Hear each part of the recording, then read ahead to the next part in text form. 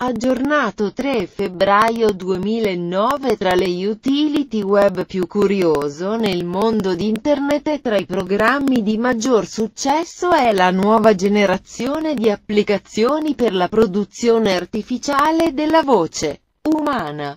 Questo sistema è chiamato un sintetizzatore vocale e può essere implementato tramite software hardware. Un testo-to-speak TTS converte il testo in parlato con una voce reale per così dire il computer e fargli leggere ad alta voce ciò che è scritto. Viceversa altri sistemi trascrivono la voce umana come quelli utilizzati per le conversazioni telefoniche.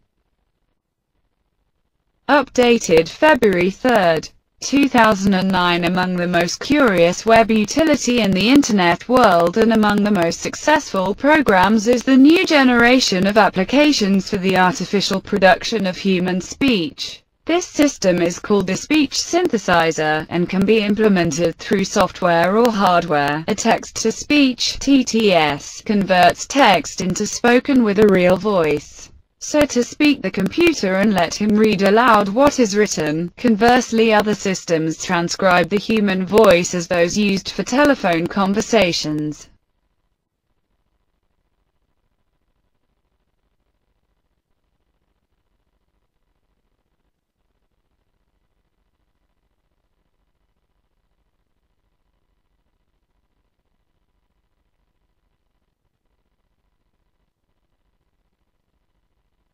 更新时间：二零零九年二月三日。其中，在互联网世界上最成功的节目中，最好奇的网络应用程序是新一代的人工制作人的语音应用。这个系统被称为语音合成器，并且可以通过软件或硬件来实现文本语音转换。TTS 将文本转换成讲一个真实的声音，可以说电脑让它朗读写的是什么。么？相反地，其他系统录制人声，那些用于电话交谈。